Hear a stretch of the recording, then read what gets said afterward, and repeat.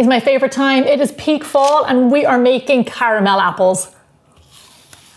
In a heavy bottom saucepan, we're gonna make our caramel. Pour in your honey and your cream.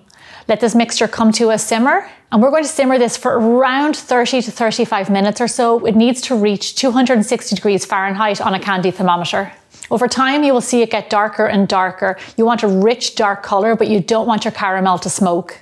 This right here is perfect. I'm gonna take it off the heat. So now for the fun part dipping the apples. Get some nice little small apples because they're easier for eating. Put them on some popsicle sticks and then just dip them in your caramel. Make sure that you wash your apples beforehand so the caramel sticks well to it.